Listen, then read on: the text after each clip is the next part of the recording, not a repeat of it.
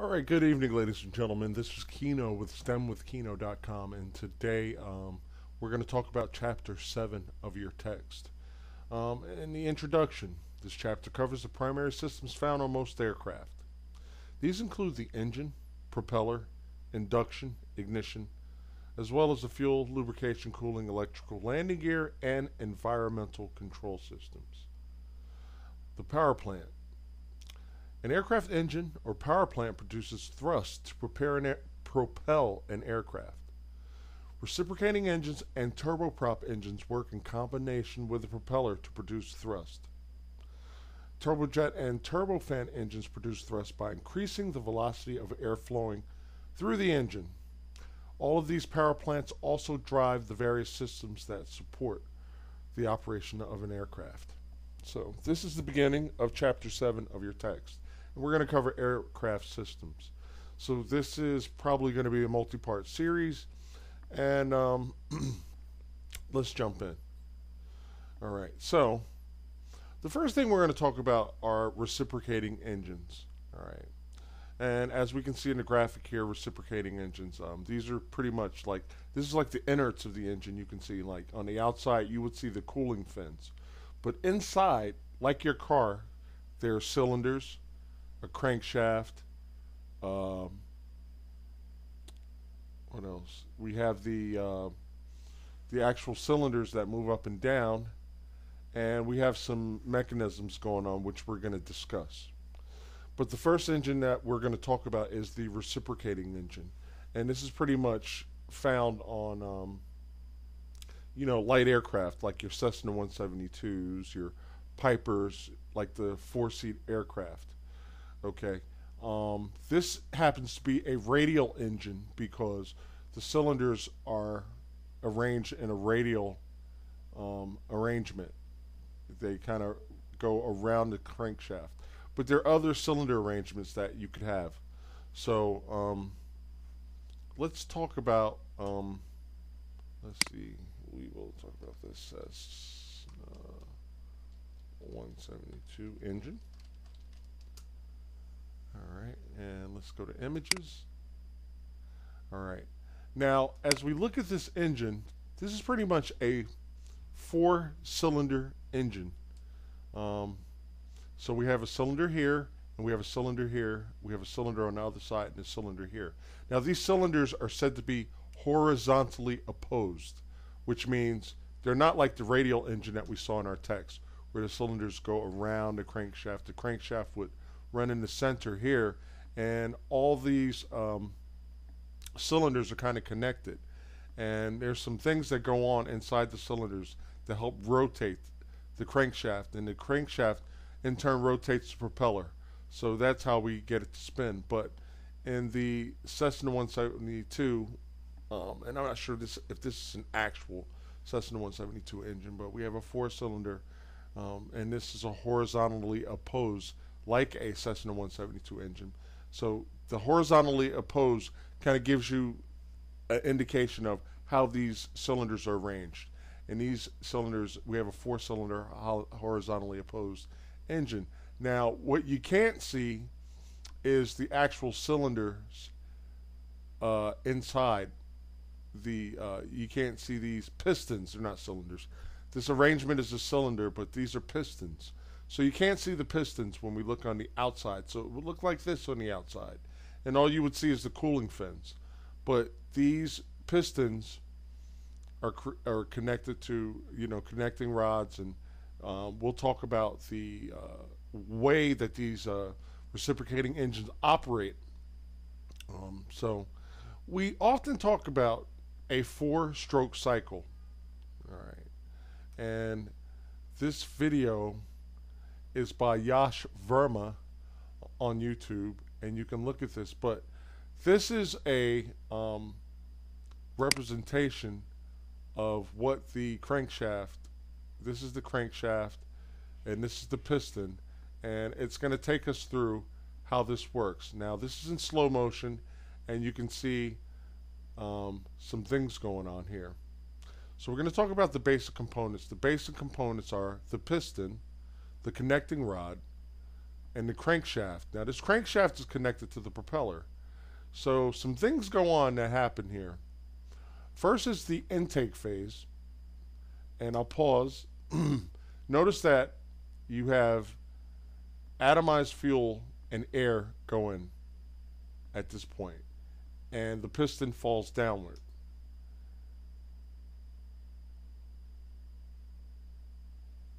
Then, after the fuel air mixture comes in, this piston rises up and it kind of pressurizes it because as this as this piston moves up, it's going to put pressure on this fuel air mixture. All right. So the intake phase is when this valve opens, the fuel and air come in, and then it will close, and then this piston will come up. So what we have here is air and atomized fuel. When we think about atomized fuel, think of fuel. When we put it in a fuel tank, it's liquid.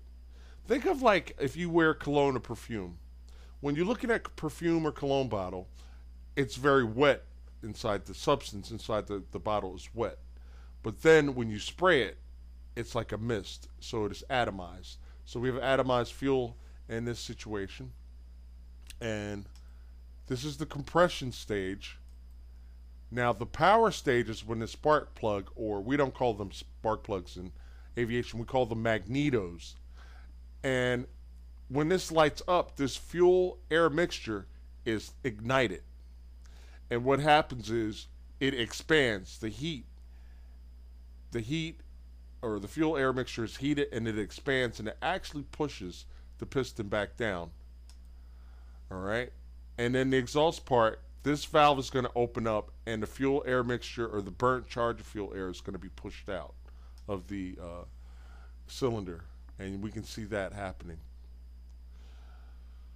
Fuel delivery system. We have the intake manifold and we have the intake and exhaust valves. So when this valve drops, that's when the fuel air mixture comes in and then it closes so the fuel air mixture can be compressed and then after the spark plug lights and pushes this back down and comes back up then this opens up and it allows the fuel air charge to be discharged all right so we can see um, we could see the uh, intake manifold that's spraying the fuel in we can see the spark plug. They call it a spark plug, but it's actually a magneto.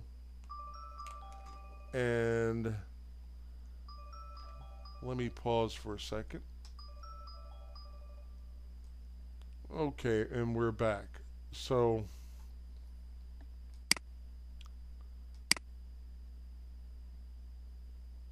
we can see that the intake compression power exhaust situation is happening in a very slow motion here.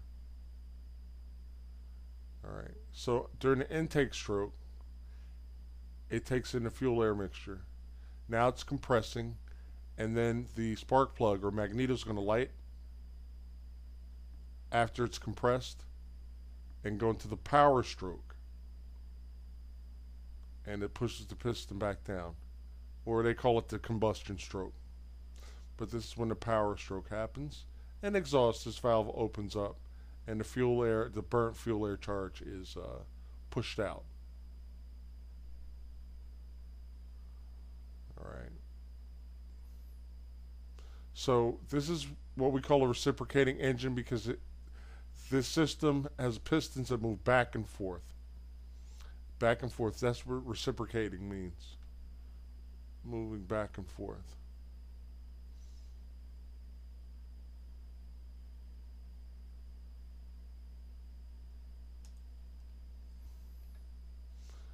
And we see this rotates 83 times per second. So that's pretty fast at 5,000 RPMs. Alright, but we slowed it down so you can actually see what's going on. So that was probably more representative of what how it, how fast it moves when we when we um, get it there. So that is the reciprocating engine, and you're probably going to see it on aircraft like, uh, you know, like light aircraft like the Cessna 172. Here is a uh, representation of either Cessna 172 or Cessna 152. Uh, but you can see that the cylinders are horizontally opposed and you can see how it's connected to the propeller. So this is our first aircraft, the reciprocating, our first engine, the reciprocating aircraft engine. All right. Um, and we talked about the four strokes intake, compression, power, exhaust. Now, um, the next type of uh, engine system is called a turboprop, short for turbine propeller turbine propeller. So instead of having the cylinders move back and forth like the reciprocating engine, we actually have a turbine engine that is turning and it's connected to a gearbox that in turn turns the propeller and it pulls the air from the front to back. And that's how the thrust is produced by this particular type of engine. So the turboprop or turbine propeller, uh, but most people commonly call it a turboprop. Prop. Uh, they uh, would have this type of system. So we don't have the cylinders rotating. We have actual uh, actual turbine, and then finally we have um, a pure turbine system. All right, so we're going to zoom in. There's no propeller on the outside. And is this going to go to a... Uh, okay. So we can see that we have the air flowing in. And you still have the intake. The air is being sucked in. The compression. It goes into a smaller area. And the air is uh, just compressed and then we spray fuel into this canister, and then the exhaust it goes right out the back. So in all these systems, you will still have the intake, compression, power, exhaust uh, going on. All right. So those are our three types of uh, propulsion systems. The first one being the reciprocating engine the second one being the turbine propeller, and then a pure turbine. All right, so this is very interesting because cold air comes in, and the, in the combustion chamber, fuel is introduced into. Um, you have your fuel injection holes, and fuel is indu- in, uh, injected into or atomized into this situation, and then the expansion comes here comes here because when it's heated up, the air molecules expand. All right. Here you can see how the fan blades are uh, rotor and stator blades are. You have your stators that stay still, your fan blades that move, but what they're actually doing is compressing the air. And you can see the temperatures goes from 10 degrees to about 450 degrees Celsius. So it gets pretty hot and we get a lot of expansion there um, when we get to the backside. And the cool thing about this is you have your rotor blades that are um, connected at the back. And as long as these things are turning, they're connected to the uh, front and they keep. Notice how they move at the same time.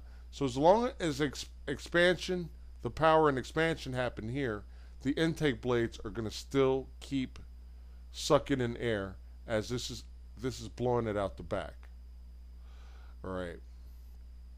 Um, okay, so that covers propulsion systems. Um, we can see this horizontally opposed cylinders.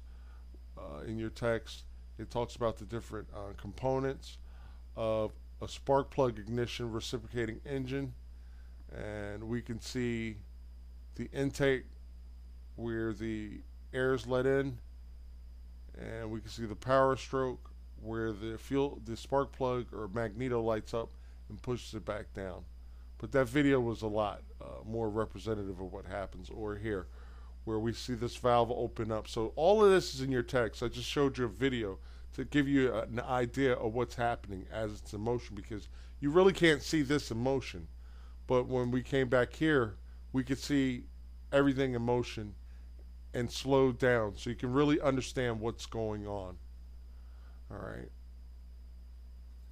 Now, let's talk about, since we talked about our engines, let's talk about um, some controls. All right. And we'll turn the sound off and we'll blow that up.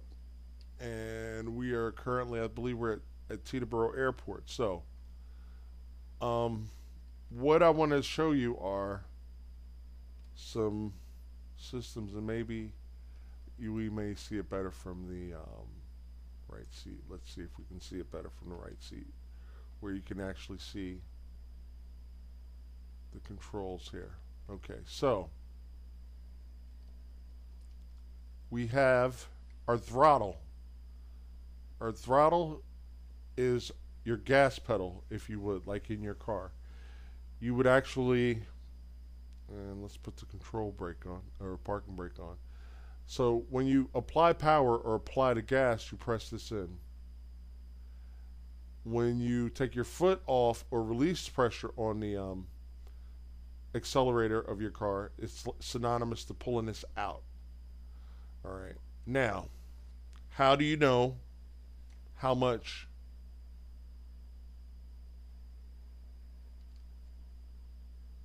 throttle or how little throttle to lose, use?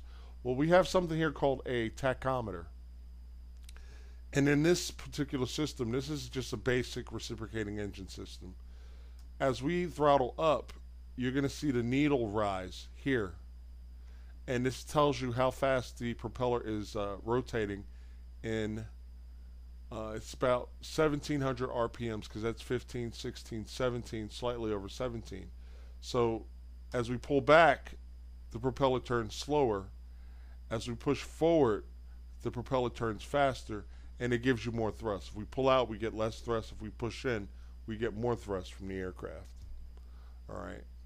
So basically, in order to take off, you would just push this full forward and making sure that your fuel air mixture is rich, you know, for takeoff. And uh, we'll talk about mixture down the road. But this is typically how a basic fixed pitch propeller, okay, and we'll talk about constant constant speed props and fixed pitch propellers down the road. But a fixed pitch propeller is a system where this propeller or um, the blades of the propeller are fixed. They do not move.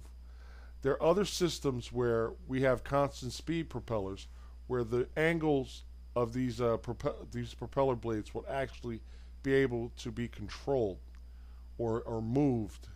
Okay, but this particular system is a fixed pitch propeller. All right, so this propeller does not move, and we can tell by the controls because there is just a throttle control. If we had a fixed pitch or constant speed propeller, we would actually have a blue control in the middle. Um, and we would not be reading this for um, your throttle. You would have a manifold pressure gauge, which I'm going to go into in a little bit. And that's how you would set your throttle according to a man- manifold pressure gauge. And your propeller, you can have it uh, rotate at a certain amount of revolutions per minute. So in your air, airplane flying manual, your pilot operating handbook, you would have um, certain settings, and I'm going to discuss that in a minute. So, in order to, like I said, in order to take off in this situation, basically all you would do is, uh, and let me get these uh, rudder positioned properly. Ugh. I'm falling apart, y'all. Don't worry, we'll get it together. We got it. so, in a fixed pitch propeller system, all you would basically do is just push the throttle full forward for takeoff. There is uh, there are various power settings that you can use for like maybe like a cruise climb or a climb out, but basically, the procedure would kind of look like this. And I have the uh, sound cranked down so you can hear what I'm saying. It's it really wasn't that loud. No, it's really not that loud. So we will uh, proceed. All right, let's come back. Virtual. So let's get our heads up a little bit. I just want you to pay attention because we have our RPM indicator here. When we push the throttle in, it's going to come up to tell us that, hey, your propeller's spinning faster than it was. Where we're at now is the idle position where the uh, propeller's really not cranked up. But if we push this in, you see the RPM gauge come up. We'll take it out. All right. Here's our airspeed indicator. The airspeed indicator helps measure our airspeed through the air. All right, so let's just see how well our rudders are going to play because this is a, a, different simulator. Okay, so the rudders are moving. All right, and I'm actuating or moving. I'm depressing the foot pedals. Get this. So for power, that is the throttle. If we look down, we actually steer with the foot pedals. This would be the pilot seat, and this would be the co-pilot seat. So we're moving that rudder with these feet ped foot pedals right here. And this is actually how we steer on the ground. We don't turn the control wheel to steer. All right. So just to give you an, an indication of what a takeoff might look like, and we're going to be steering with our feet as we throttle up. Now, like I told you before, these uh, the rudder here is a little bit hairy, so we're going to pay attention to our tachometer as we take off. So I'm just going to take the parking brake off and we're going to smoothly advance to full power. Now, the thing about takeoffs, we don't look here. We look down, we look way down here. And that's how we maintain our orientation. All right, we're not looking down here, we're looking down here. All right. After we hit our rotation speed, we pull back on the yoke and we let the airplane wings aerodynamically take the weight of the aircraft um, and we produce the wings producing lift. So, boom, we have an airplane that's climbing out. Okay, and this is uh, Teterboro Airport. All right, so this is your basic reciprocating engine aircraft. Alright. There's no propeller control. Wow, look at all that traffic down there. Must be like 380 or something like that. I like uh, Microsoft Flight Simulator, man. The realism is like crazy. You got trucks down there and everything. Okay, so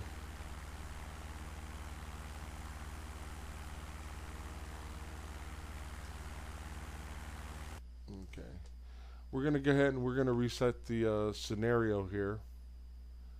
And we're going to switch to an airplane that has a constant speed prop. And we're going to talk about that procedure. And we're going to use the same runway. And all you guys, if you don't have Microsoft Flight Simulator Steam or uh, or P3D, I recommend that you get it. This will enhance your flight training. You can do so much. It's like unbelievable. And as you can see, I have quite an array because uh, I do a lot of videos and stuff like that. So I'm trying to find might as well find the same kind of a very similar make and model.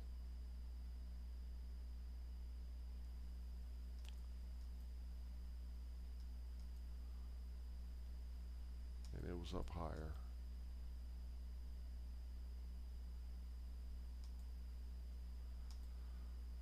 Ba, ba, ba. Just bear with me a minute folks will find the particular aircraft I was looking for. There we go. All right, so let this load up. We'll put our parking brake on. Now this propeller has a constant speed prop. So we had our mixed control like the other airplane. We have our throttle control. And then we have a blue control there that um, has our it, it makes our um, propeller spin at a um, certain speed. Now we have the RPM gauge here, but we also have a manifold pressure gauge. So the throttle actually moves the manifold pressure gauge, not the throttle so much. Now it may move it a little bit initially, but once we set once we set um, our prop speed, and let's just say our propeller, our prop speed, or our climb out speed is 20 inches of manifold pressure and uh, 2,000 RPMs for our propeller RPM. So it's not just like slamming the throttle and just kind of, you know, doing our thing. We actually have to set our manifold pressure gauge with the throttle and our propeller uh, RPM.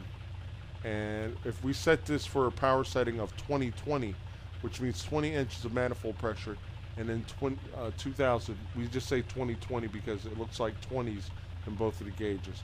So let's just say that is our climb, our pre prescribed climb out um, power setting according to the manual.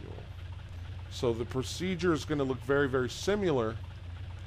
And I think I'm going to go to the right seat so you can actually see, well, the needle will come up here. All right. Because I don't want to be looking all cockeyed. Let's see. I guess you can still see it. All right.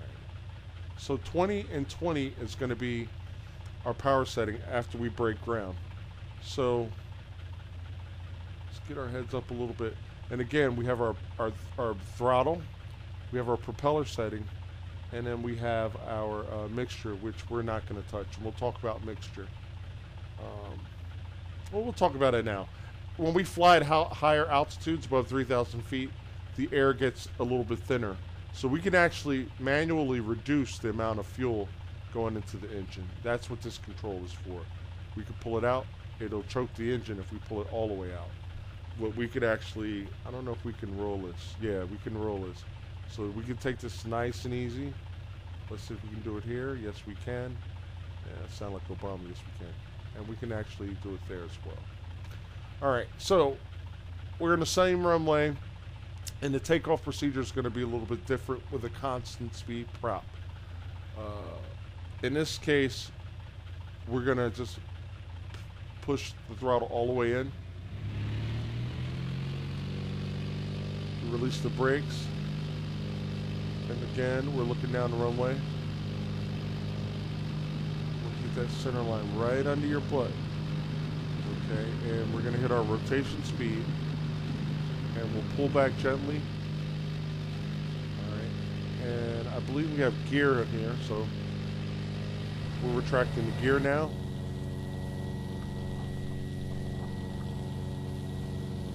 And the gear going into the belly of the aircraft to reduce drag.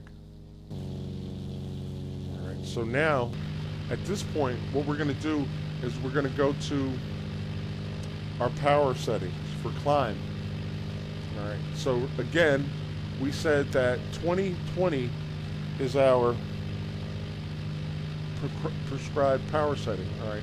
So we're going to look at the manifold pressure and we're going to pull back till we get 20 and it's set at 20 and then we're going to pull the propeller control back till it sits at 20 and you can see that moving there and we're right about there all right and then everything is just business as usual we also have a cruise setting where um, we will cruise at a certain power setting. Um, and then that is a certain manifold and um, uh, propeller speed setting. So with the constant speed prop, no matter what I do, um, the manifold pressure, the manifold, uh, or I'm sorry, the uh, governor. There's a governor in here that actually twists the blades to maintain 2,000 RPMs. All right. So these are both uh, reciprocating engine aircraft, and we're in the climb out. Now, let's go to the turbine propeller. You. And let's talk about the turbine propeller, or turboprop. Uh, here's the turboprop. And in this situation, what we just got off were two aircraft that actually were reciprocating engine aircraft because that piston is moving back and forth. That's what reciprocating engine means. Now we're going to deal with the uh, turbine propeller or turboprop. All right, so we're back on the ground at Teterboro, and we're going to have to switch airplanes.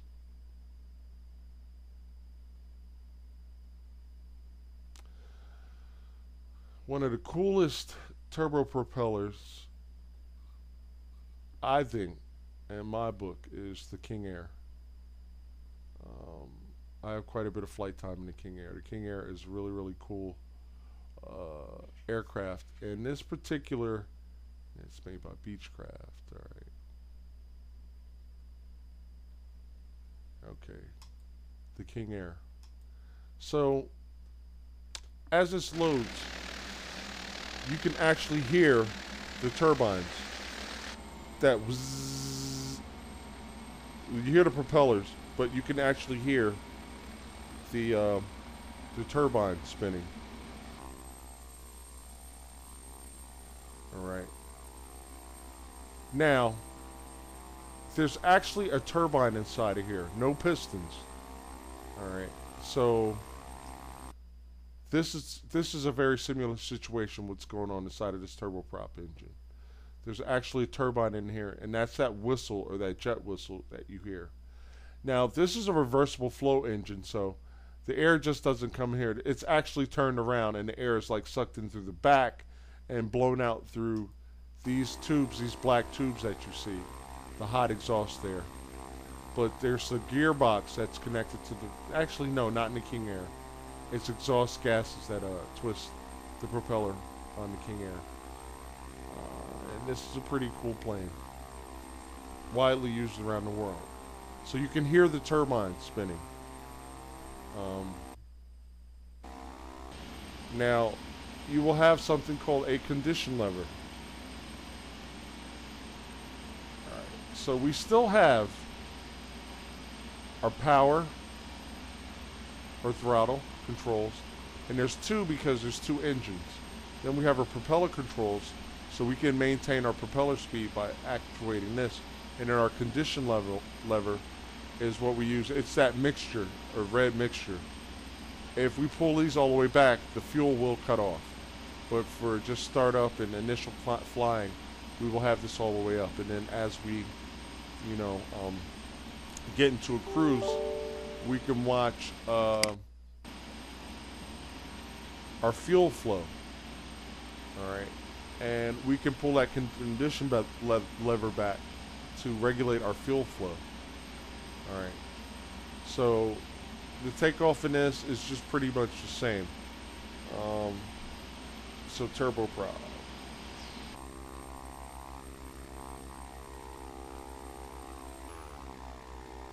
Okay, so we can see our two engines and we can see our two exhaust ports. All right.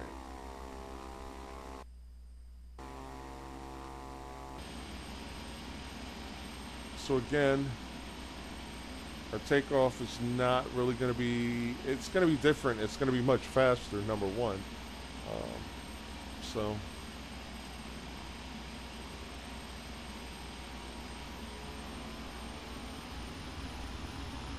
And you can hear the turbines. And you hear the propellers spinning faster. But you can actually hear the turbines. So there are no recipro- this is not a reciprocating engine aircraft. This is a turboprop or turbine propeller aircraft. We'll rotate.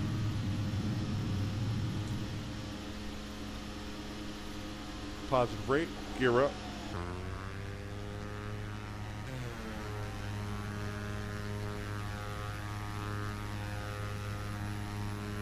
So just because you see propellers on an aircraft does not mean that is a it is a reciprocating engine aircraft. Okay, there's actually a turbine, two turbines inside the uh, cowlings. Okay, but you're still, no matter what, going to get the intake, compression, power, exhaust. Okay. And then last but not least,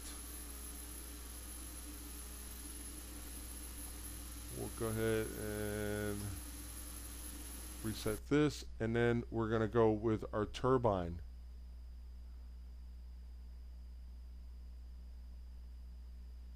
Or turbo turbofan engine. So all we're doing is basically resetting the scenario and let's come up with a turbine powered aircraft. Alright. I love the CRJ.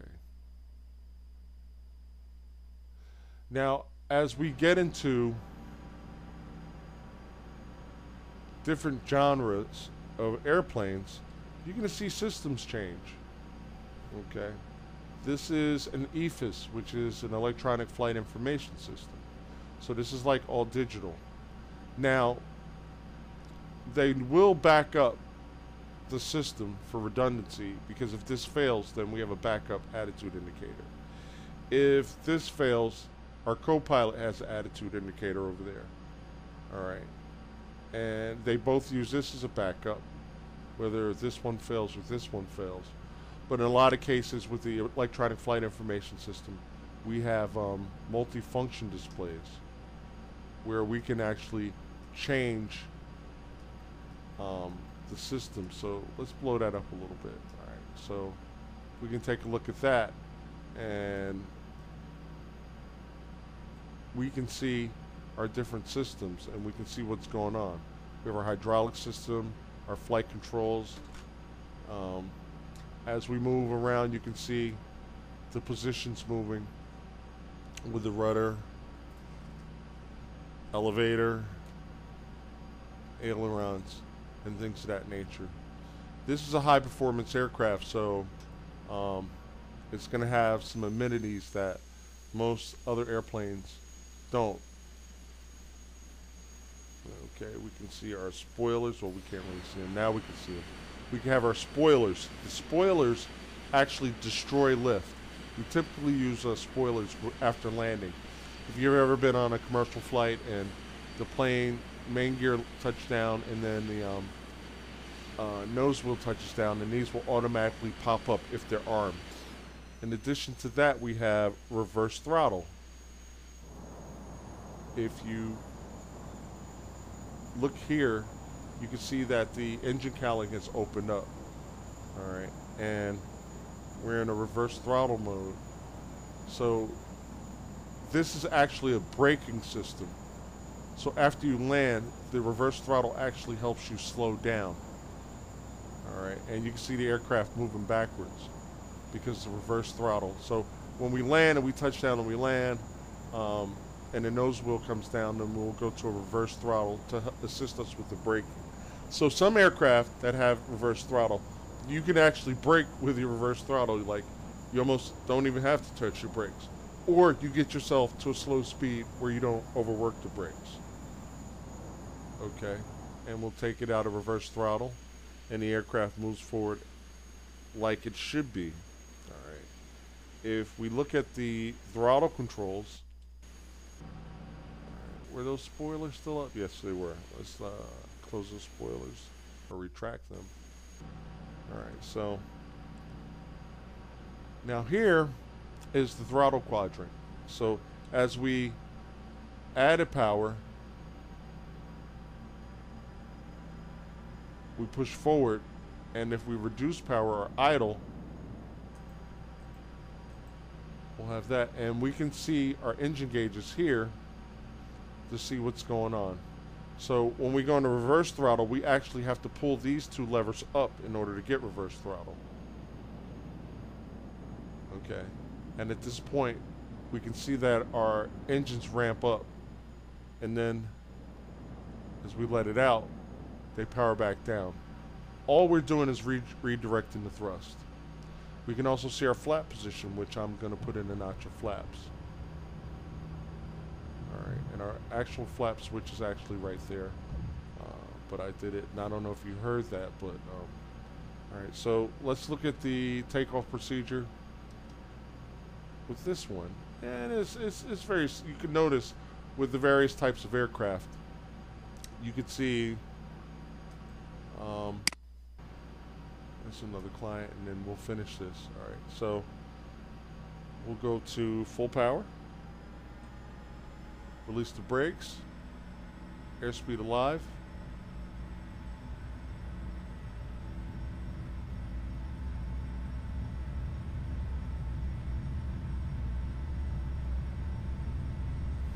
taking off for runway one. Okay. Gently pull back on the yoke.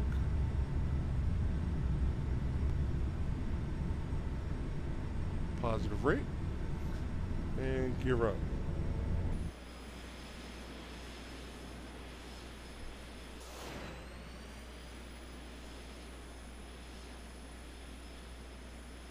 That is a beautiful, beautiful bird.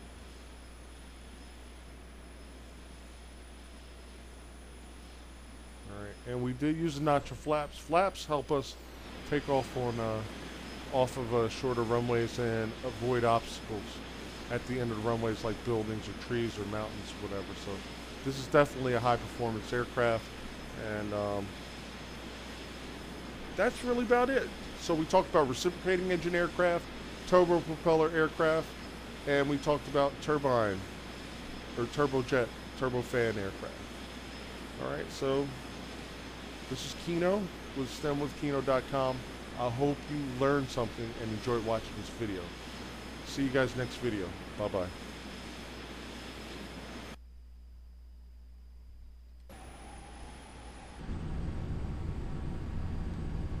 Beautiful view from the flight deck. See you guys later.